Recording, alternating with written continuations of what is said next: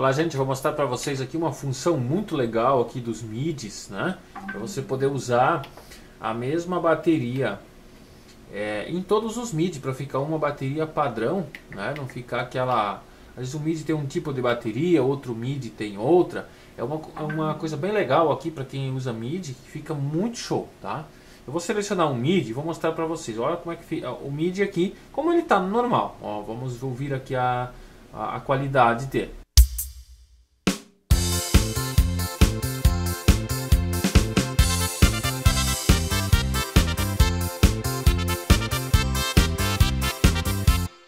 Ok, tá. Agora eu quero botar uma, uma bateria sampleada. Por exemplo, tem um ritmo que eu gosto muito aqui no meu teclado.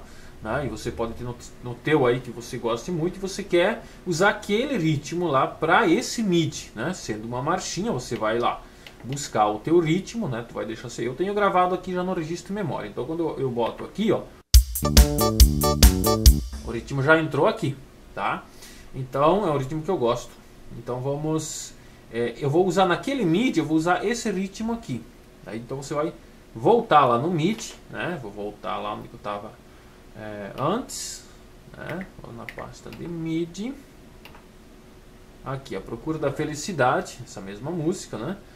Então agora eu vou rodar ele, vou deixar ele rodar um pouco. E aí, no momento que ele estiver rodando, eu só vou apertar esse Start Stop aqui, né? Como se eu fosse rodar, pra, porque o, o botão que faz rodar o MIDI é esse aqui, né? No teu deve ter também o play ali, né? Você aperta esse aqui. Não pode, esse aqui vai só rodar o ritmo. E esse aqui vai rodar o MIDI. Então você vai deixar ele rodando aqui e no momento que estiver rodando você vai apertar esse, é, esse botão aqui. Então ele vai entrar é, o, esse ritmo com aquele MIDI. Quer ver como é que vai ficar? Ó, primeiro eu vou rodar ele normal, depois eu vou acionar ele junto.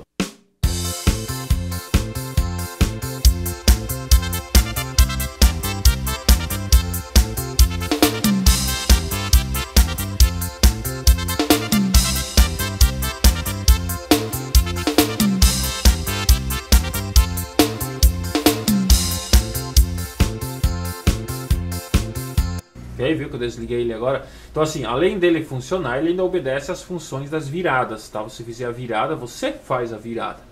Porque daí, quando você está usando esse ritmo aqui, ele não faz a virada sozinho, você tem que fazer. Mas é legal, fica uma virada é, que você gosta, um ritmo que você gosta. Isso aqui na, na marchinha. Deu para perceber, né? Quando estava o ritmo original ali dele, quando estava essa aqui, dá uma diferença muito grande. Aí eu vou pegar uma música gaúcha aqui, vamos achar uma aqui. É... Vamos lá. Vou ligar aqui.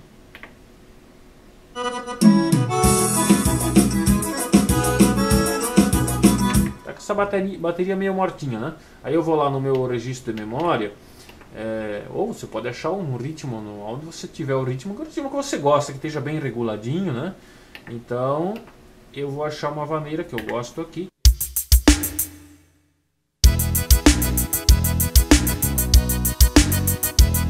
Legal, sampleado, tudo certinho. Vou voltar lá nos MIDI.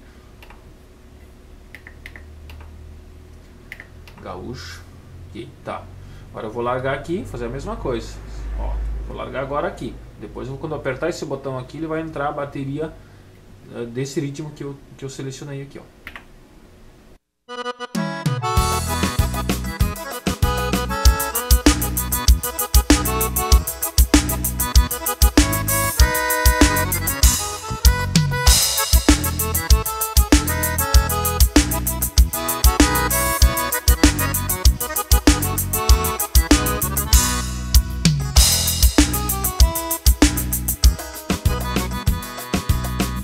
Entendeu? Eu desliguei ele aqui, como é a diferença.